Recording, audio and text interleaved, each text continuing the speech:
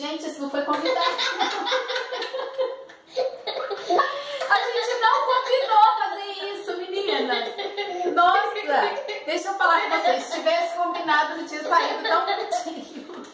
Então, meninas, pra vocês já é feriado pra gente aqui, né, Duda? É véspera de feriado.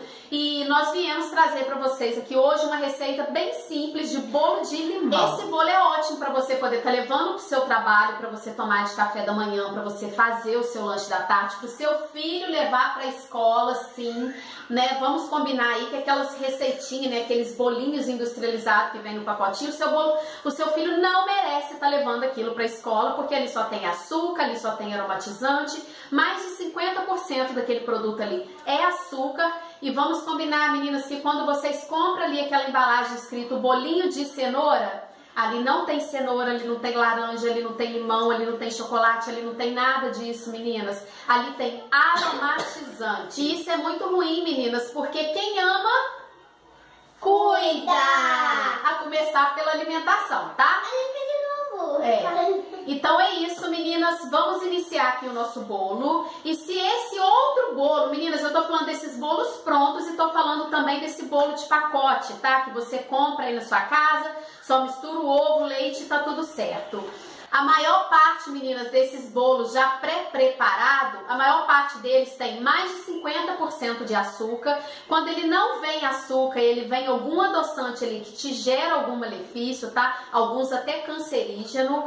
Ali tem também gordura trans, tá? Que é aquela que traz, né, muitos malefícios pro seu coração. Ali tem aromatizante, né, que é igual eu te falei, você vai fazer aí um bolo de limão, você pensa que tá consumindo limão, mas não, meninas, tá? Vocês estão consumindo aí, ó, aromatizante, né, com sabor idêntico ao natural de limão. Meninas, e todos os nutrientes, né, todas as vitaminas presentes que vem descrito ali na embalagem, são vitaminas sintéticas e não há estudos científicos que comprovem que aquelas vitaminas ali façam o mesmo papel, por exemplo, de uma vitamina quando extraída da própria fruta ou do próprio alimento. Meninas, e se de um lado nós temos aí um bolo pobre em fibras, rica em gordura trans, mais de 50% em açúcar. De outro lado, nós temos aqui um bolo super nutritivo com alimentos que nós adicionamos e que só traz benefício para a nossa saúde.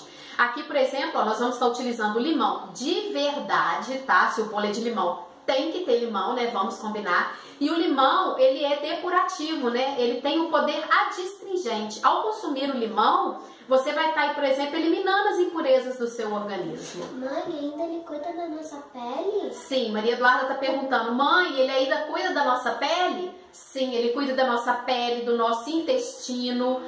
Gente, e sem contar também que ele tem baixa caloria. Então, ó, vamos abusar aí no limão para poder temperar. Limão com água, por exemplo, ele não tem o poder de emagrecer, tá? Limão com água não emagrece nem se a água estiver quente. Mas ele tem esse poder que eu falei pra vocês aí de eliminar toxinas. Então, ó, vamos investir mais no limão. Nós vamos estar utilizando aqui dois limões pequenos. Um eu tirei a casca totalmente dele, os caroços. O outro eu tirei só o caroço, tá? E deixei com a casca. Pode botar? Pode. Nós vamos utilizar aqui também três ovos caipira. Para você saber que o seu ovo é caipira, a gema dele é mais laranjinha. E por ela ser mais laranjinha, ela tem mais beta-caroteno, que é um antioxidante que previne envelhecimento precoce. Vamos utilizar aqui também meia, meia xícara de óleo de girassol. Se você quiser, você pode estar utilizando óleo de coco. Eu tenho óleo de coco, mas muitas meninas que me assistem aqui não tem o óleo de coco. Então eu quero fazer de uma versão que eu sei que elas vão poder estar fazendo em casa, entendeu? Que elas viram aqui, entendeu? Então aqui nós vamos estar utilizando óleo de girassol.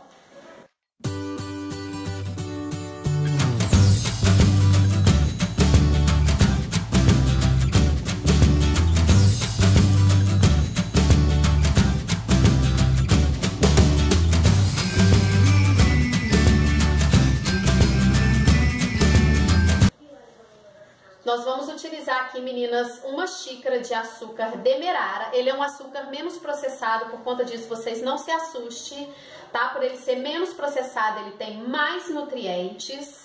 E outra coisa, eu, colo eu coloco sempre uma xícara porque ele adoça menos. O açúcar, quanto menos processado, menos o poder adoçante ele tem. Se você é diabético, você vai substituir o seu açúcar por adoçante. E você vai acompanhar aí no rótulo tá, a quantidade aí dessa troca que eu não vou saber te dizer aqui agora, porque eu não sei qual é o seu tipo de adoçante.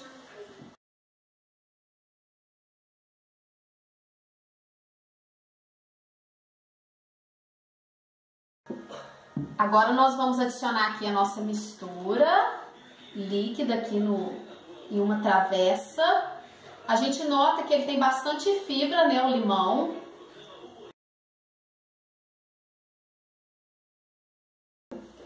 Meninas, aqui tem duas xícaras de, de farinha integral, nós vamos adicionar aos poucos.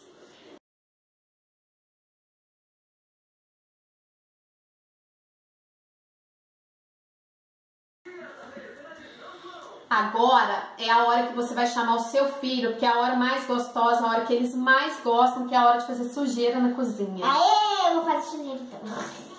É, é, aqui a gente colocou duas xícaras de farinha integral, tá? A xícara que eu tô utilizando como referência aqui é uma xícara de 200 ml. Olha, por que, que a gente tem que adicionar aos poucos? Por conta disso aqui, ó. A hora que a massa estiver mais pastosa, Não, né? Eu tava fazendo isso mesmo. Ó, Não, não Meninas, a hora que ela tiver com essa textura assim, você não vai adicionar mais. Olha aqui, ó. Eu não cheguei a utilizar as duas xícaras inteiras, deu em torno aqui de uma xícara e meia. Se você não tiver farinha integral, você pode estar utilizando a farinha branca, no caso, né? Metade de farinha branca e metade de aveia em flocos finos. Você vai ter aí muitos benefícios também ao invés de estar utilizando só a farinha integral. Tem gente que não encontra, né, a farinha integral, mas encontra aveia. Agora nós vamos adicionar aqui, ó, uma colher de sopa de fermento químico. Deixa eu botar. Esse fermento químico, a tampinha dele já equivale a uma colher de sopa. Então você vai, vai adicionar aí no seu bolo, você pode medir pela tampinha mesmo.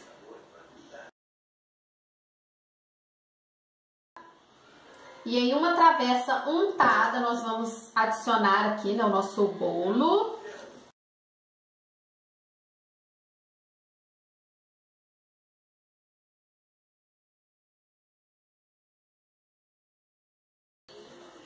E agora nós vamos levar ele no forno já pré-aquecido. Eu noto que quando eu coloco ele no forno pré-aquecido, ele cresce mais. Assim ficou o nosso bolo, bem moreninho do lado. Meninas, tá um cheirinho de limão incrível. Aí agora o que, que eu vou fazer aqui? Eu vou partir ele para vocês poderem ver a textura do lado de dentro.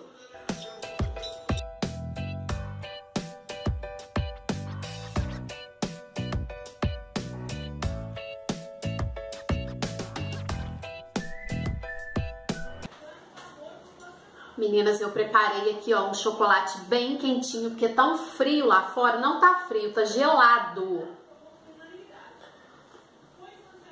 Hum, nossa, tá quentinho. Aí agora, olha aqui. Maria Eduarda, ela não me espera não, entendeu? Tô com fome. Tô com fome. Ela vive com fome, né, meninas? Ó, quem gostou daquele bolo de laranja vai gostar desse de limão. A textura dele é ótima. O cheiro enquanto você tá assando, gente, espalha pela casa inteira.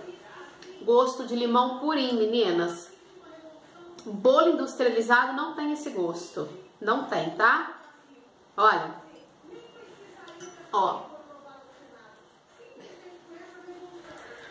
Então, meninas, eu vou deixar aqui embaixo no box de informação o endereço do meu Facebook, porque enquanto, enquanto o blog não fica pronto, é lá que eu vou deixar as reportagens que eu escrevo no Instagram e vou compartilhar no Facebook, tá? Lá eu vou deixar um estudo que eu fiz sobre os malefícios dos bolos industrializados, tá? Incluindo o de pacotinho e aquele bolo, né, que às vezes a gente compra pronto. E vou deixar os benefícios do nosso bolo, tá? Então fiquem com Deus, até o próximo vídeo.